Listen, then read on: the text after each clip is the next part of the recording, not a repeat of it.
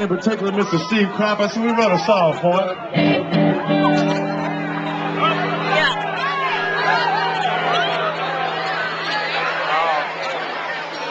And by the way, cheers to you sports fans. That's right. cheers to you sports fans out there. Yeah, you're right, Greenville.